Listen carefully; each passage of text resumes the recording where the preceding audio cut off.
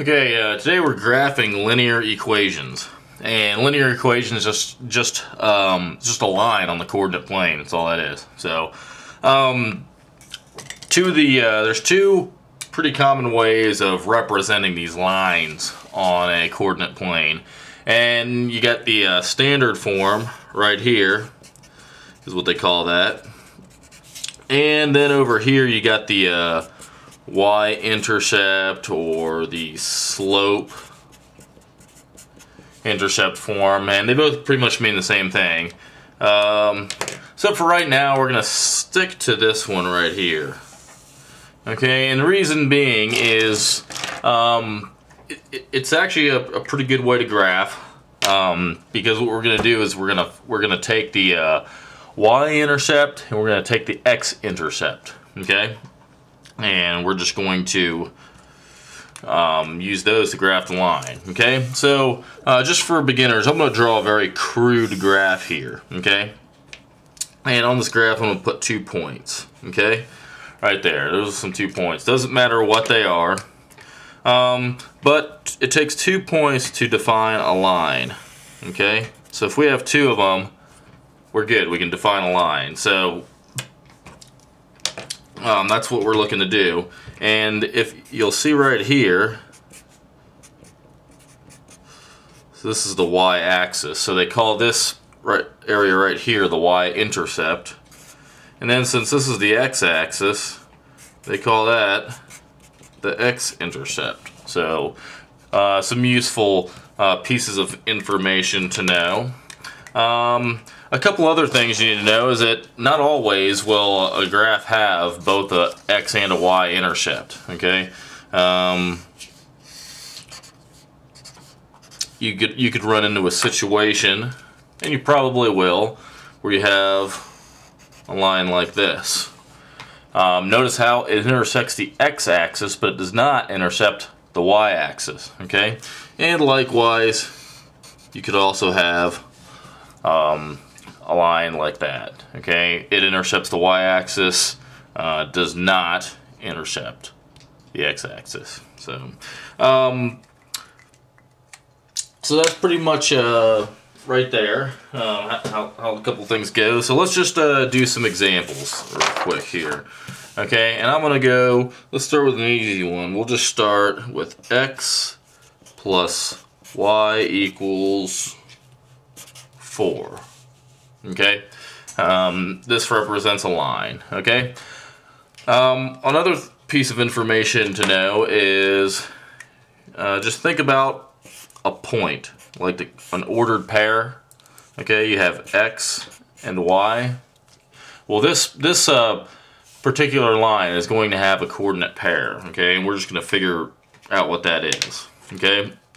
And the way you can figure out what that is, is I can choose, since it's a line, um, I can choose any x value I want and it's going to produce a y value. Okay, so I'm just going to pick all by myself. I'm not really going to, you know, we're basically just playing the guessing game really here. I'm going to pick uh, a value for x and it's going to give me a y value. So I'm going to pick, I'm going to pick 0 because it's easy to work with.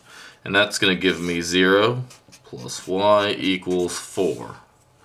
Well, this is doesn't mean anything to us now because that's 0. So we end up with just plain y equals 4. Well, y is over here on the uh, ordered pair, so I can just go ahead and plug that one in right there. So I have one point. I need one more to define this line. So what I'm going to do is now I'm going to pick another value right here. I'm going to do the same thing. I'm going to pick 0 and stick it in for y.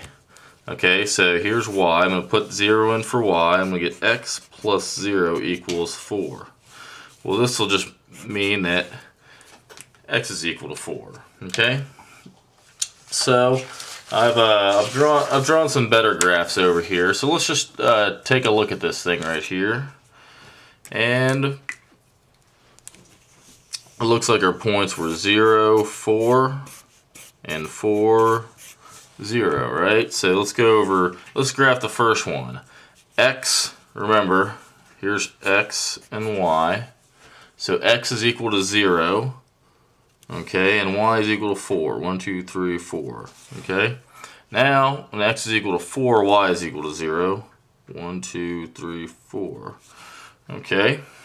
So let me actually do a good job right here. I'm going to graph this like a nice student would. And there's our line. Notice how this line is aimed down. So the slope is negative. Okay?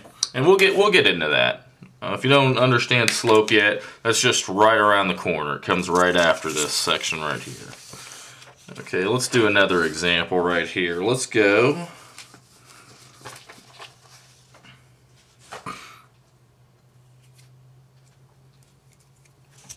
let's do 2x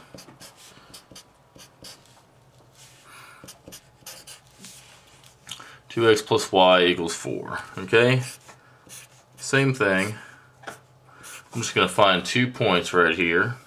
And the first one I'm going to do, I'm just going to plug a zero in for y. Okay, and remember, remember y is over here. So if I plug y in, for zero, or plug zero in for y, I get 2x being equal to 4. And we can just divide both sides right there. This guy cancels out. 4 divided by 2 is just 2, so then we get x equals 2. Okay? Alright, now let's do another uh, substitution right here. Um, I'm gonna put zero in for x this time. Okay, so that's gonna be two times zero plus y is equal to four.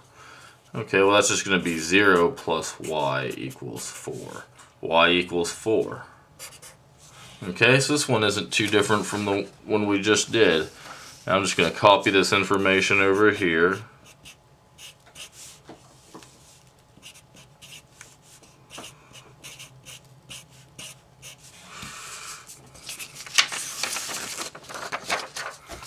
And I'm going to go ahead and use this to make a graph. Okay.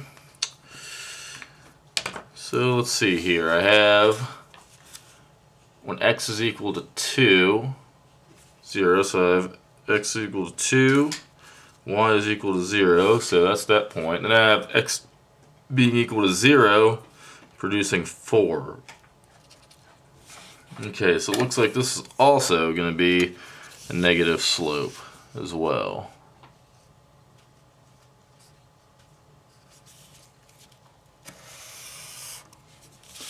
Okay, and there's that line right there.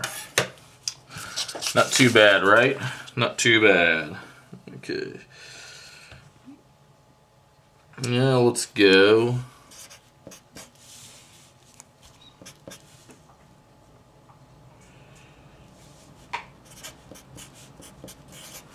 go 2x equals 3y plus 6. And I hope I have enough time here. Okay, so here's my xy. I'm gonna go kind of fast because I'm almost out of time. So I'm gonna pick I'm gonna pick 0 for x. 2 times 0 equals 3y plus 6. Okay, 0 equals 3y plus 6. Subtract 6 from both sides, and I get Negative 6 equals 3y. Okay. Oops. Negative 6 equals 3y. Divide both sides by 3.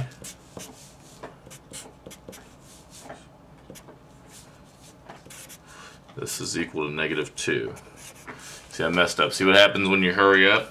Okay, let's also um, check this other one out. And let's see here, I'm going to pick a 0 for y. So we have 2x equals 0 plus 6. Okay, well that's just going to be 2x equals 6. Put both sides by 2. And x is going to be equal to 3. We'll put up there. That one wasn't too good because I had to kind of hurry up in the end. We're, we'll, I'm going to make a second video on this, okay?